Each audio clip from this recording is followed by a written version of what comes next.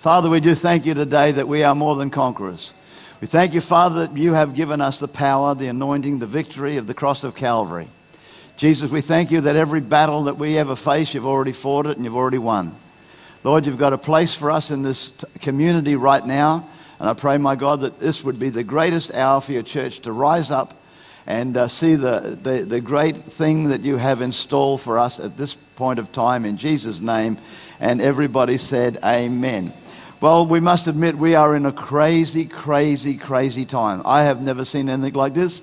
I know I'm not, haven't been in this world all that long, but in the short time that I've been in this world, I've never seen anything so stupid, uh, so ridiculous as the time that we're living in right now.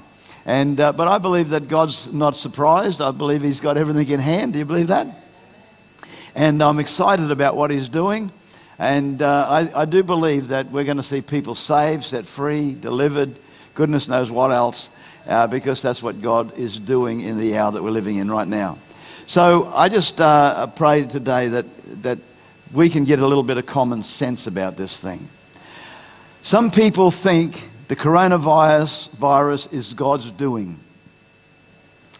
In the community out there, there are people that are so confused they wouldn't have a clue what's going on. We are the answer. We've got the words that, we've got the words that we can speak to them. Uh, people who don't believe there is a God are believing a God they don't believe in for the problem. How stupid is that? to me, that is very, very stupid.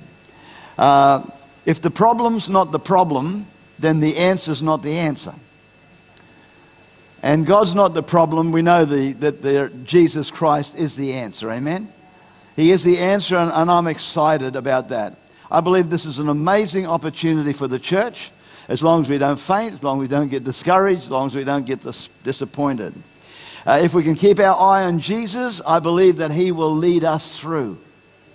He's going to take us by the hand, He's going to lead us through, and we'll come out the other side stronger and more powerful. All I know about this, and I know as Tom was sharing about different situations, and when, when you've got your back to the wall and you, don't, you can't see the answer, you know that your only hope is in God, that when God comes through for you like that, you come out stronger. What the enemy means for bad, God turns around for good. And if our faith in that is not challenged, usually it just, we just go on same old, same old. But when the challenge comes in life, and you've got to stand on what you believe, and you've got to believe what you believe, and you've got to make statements, bold statements even, then you come out stronger.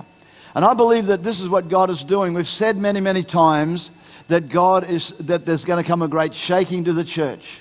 We've, we've already heard all these things, so we know that this has happened. But if we can keep our eye on Jesus, I believe that He's going to walk us through all this. Um, you know, the disciples were in a boat. They had uh, hopelessness got around them. They, they said, Man, how can, you know, don't you care? We're perishing. But Jesus was, was there all the time. And I want to say this to you today He's in your boat with you right now. He's in our boat right now. And He's just waiting for us, even in our negative state, even calling out to Him God, can you help us in this situation that we're in? Of course, we know that he rose up and he rebuked the wind and the, and, and the seas and everything. God cares more than we realize. God, God loves us so much that he sent his son to die for us. So, how can we say, God, don't you care? Don't you care what we're going through? Don't you care that, like as Greg said a minute on about the toilet rolls? Toilet rolls seem to be the major problem in our, in our community at the moment. I, I just hope we don't have a gastric, because uh, most people will go and buy nose spray. he, he loves us more than we realize. I believe that uh, God, the, uh, the whole, and God, the Holy Spirit, and the whole team there, they're watching over us. They're going to see us through all this. Amen. There's one thing that I want to just really share today. There's a thing called faith. There's a thing called foolishness and there's a thing called presumption. And what we've got to be careful of is that we do operate in faith, that we don't uh, try to test God, try God. God is well able, and I believe that my days are in God's hands. I believe that if God knew me before the foundation of the earth, if He knew me before I was put in my mother's womb, I believe He knows me now. But I'm not going to go out on the highway today and stand in front of a Mack truck and say, God, you can help me. Because if you're stupid, you will get a stupid result. I'm not going to go out there if I see a, uh, a, a, a snake running across the ground. I'm not going to go and pick it up and say, God, you can help me. I'm not going to try to test God. I'm not going to try to prove God. I've got to, be, I've got to have faith, but I'm not going to be stupid. I don't want to be stupid. Uh, the Bible says many are afflicted. Many of the righteous are afflicted, but the Lord delivers us out of them all. Amen? Out of them all. Um, there's two voices going around very, very strong at the moment. One is fear and one is faith. Fear brings hopelessness, uh, despair, gloom, and doom. People are listening to so much stuff, but on the media, the media, I believe, is a, is, is Satan is using the media, media in, a, in a tremendous way. But, you know, we've got to remember that out of all the people that have been tested, and these people are people that have actually come in contact with somebody that's had the virus, or they've just come back from overseas. They won't, if you and I just walk up there and say, I want to get tested, they won't even test us. But people that have, that have been in that environment, they say 99% of those people are free. So 1%. And I believe that fear is gripping people. These, the two voices, fear. There's a voice of faith, which is hope, uh, excitement. I, am excited, excited about the future. Tom was coming up to me today and he was excited about. Uh, see, can I say this? It's not trying to build yourself up, it's the spirit of joy, it's the spirit of life, it's the spirit of faith that needs to come upon us today. The Spirit will rise up within us that will, that will stand and will say, Hey, I don't fear what the enemy can do because my eyes are on God and I'm putting my trust in Him. Because Jesus is the same yesterday, today, and forever. Amen? He never, ever changes. Faith is the substance of things hoped for, the evidence of things not seen. We've got to stay in faith. Hope deferred makes the heart sick. I believe that there's a lot of people there that they perhaps think they're in faith and they're not. But I want to say, I believe for the spirit of faith to come upon us. 1 John 5 4 and 5 says this. It says, For whatever is born of God overcomes the world. I shared this, I think, last week. And this is the victory. Everybody say victory. This is a victory that has overcome the world, our faith. Let me say that again. For whatever is born of God, are you born of God? How many people here are born of God? I can't lift my hand because I'm holding onto my notes, the wind's blowing them everywhere. See, we're born of God, and so God has put something inside of in every one of us. So for whatever is born of God overcomes the world, and this is the victory that has overcome the world, our faith. Our faith is in the highest order that has ever, ever, ever been on this world, in this world. Our God the Creator, the, the one that overcomes. Who is he who overcomes the world? But he who overcomes, who believes that Jesus is the Son of God. How many people here believe today that Jesus is the Son of God? See, these, it's, it's not rocket science, it's simple. It's simple that God just wants us to realize that if we do these things, that God is able to then rise up something within us that will cause us to stand above this thing, not to be subdued by the enemy, but overcome him, triumph over him. Who is he who overcomes the world but he who believes that Jesus is the Son of God? If you believe that Jesus is the Son of God, then he's talking about you. Amen? He's talking about me. I want to just share very, very briefly this morning a little bit about the power of faith. The power of faith. Faith is a powerful substance. It is an amazing thing because it will cause you to, to go beyond the natural. It'll cause you to, to not uh, be overcome by what you hear. It'll cause you to rise up It'll cause you to go forward. It'll cause you to, to, to conquer. And that's what we want to do. Um, I believe that we've got more going for us than we realize. And this is a time, I believe, when God's going to re, re, reveal to the church who He really is. Just like those disciples were in that boat, they really didn't know who He was. They said, Don't you care we're perishing? And Jesus stood up and He revealed who He was. And, and, and He spoke to the wind and He spoke to the sea.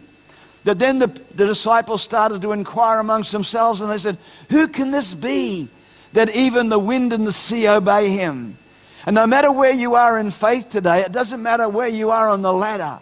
It doesn't matter. Every one of us are going to be challenged to the area that we are. And God wants to reveal to us who He really is so that we can go beyond where we've ever been before. I believe the church will go beyond what it will ever go before. It will. I believe in the miracles of God. Somebody said to me, "When will Greg come back?" I said, "He could get back to he could get back today." Because there's more for us than be against us. The supernatural realm of the spirit. He could just uh, come here for a half an hour, an hour, and then go back home again to what do you call it? to America, amen. Cheaper to go on that way, by the way. of course, of course, we know in, in Acts 1.8, and Greg's already spoken that, about that, you shall receive power when the Holy Spirit comes upon you. You shall receive power when the Holy Spirit comes upon you. When do you receive this power? When the Holy Spirit comes upon you. How many people here have been baptized in the Holy Spirit? Amen? How many people have been, come on, give me a wave. I can't wave. Been baptized in the Holy Spirit and speaking other tongues. You see, this power has already come upon you. You have already been endured with power from on high. Paul encourages us to stir up the gifts within us because you see, we drift away and we forget who we are. We're like that person that looks in the mirror and goes away and says, Who am I? Do, will I recognize myself next time I look in the mirror? Who, we forget who we are. We are children of the Most High God. God has not given to us a spirit of fear, but He has given us power, love, and a sound mind. I won't have to, Greg's already said what all that represents, but that's who we are. When the Holy Spirit come upon you, when the Spirit of God, that's when you received it. Not at the gym, not with much learning, I know people that know so many scriptures they can rattle them off by heart, but they wouldn't have enough power of God in them to blow the fuzz off a peanut. They will crumble at the time when trouble comes. You've got to realize it's not, it's not all the scriptures in that, but that is good. And I want to recommend that you learn as many scriptures as you can and you recite them. But what really gives you power is when the Holy Spirit comes upon you. You receive power when the Holy Spirit has come upon you. Faith in God's Word releases this power. So the scriptures that you learn, when you say, you know, different things, that God is well able, I am more than a conqueror, I can do all things through Christ who strengthens me. I remember, I've said this many, many times, we had a budgerigar that used to sit in his little cage, and he used to sit there and say, Jesus loves you, praise the Lord, and all those sort of things. He'd recite all those little things, but it didn't help him one little bit when the cat ate him. Because, see, it was, it was just reciting words. He didn't realize the power that was in the words. If he had of, he would have looked at that pussy cat and, and he might have said a few other things to that cat that would have sent him, uh, sent him down the road. Amen. But instead, he became the cat's supper. The Word of God is powerful, it is sharper than a two edged sword, it is alive. We need the power of God. We need to know who we are. We need to know that today we need to live by faith. We've got to be people that, that, that will stand up and, uh, even against the tide and start to declare. When, when you realize I have been endured with power from on high. And I believe today that no weapon formed against me will prosper. I do not believe for one minute that this uh, coronavirus will prosper over us. We can triumph over it. Amen. If we trust and believe. There are some very, very simple scriptures, very, very simple things. Trust and obey, for there's no other way. If we can trust and obey, if we can do what Jesus does, does, says and does, don't be foolish. Don't try to test God. Don't try to prove God. Don't, don't try to act like a, out of the area of faith that you have. Act in the area of faith that you can believe in. If you're having trouble, we are here for you. I want to stand with you. The leadership team in this church wants to stand with you. We will pray with you. We will believe God with you. We will do whatever we can to work our way through this and come out the other side stronger. Hallelujah. Because no weapon formed against us can prosper we will rise up. We will be the, the church triumphant, the church victorious, ruling and reigning, not with Global Connexions, but ruling and reigning with Him. Amen. Trust in Him, trust Jesus today. Let God be your strength. Know today and confess it as you drive around. I have the power of God. I am anointed. Hallelujah. I am contagious goodness. I, I want to be able to share my faith with somebody today. When people talk to you negatively about what's going on, say, hey, but there is an answer. His name is Jesus, Son of Grief No More. He can touch you today. Speak boldly about Jesus. Speak boldly. People don't understand.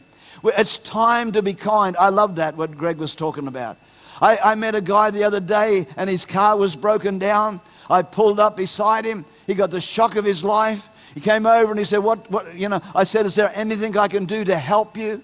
He said, my car is boiling, it's blah, blah, blah, and all these sort of things. He added a few swear words in there.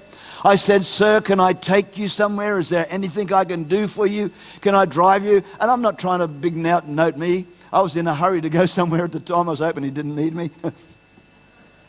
but I said, is there, I, have got a friend that's got a service station, uh, uh, sorry, your, your uh, Tennille's husband. I said, he's got a garage down the road. I said, I can drive you down there. He can help you if you can.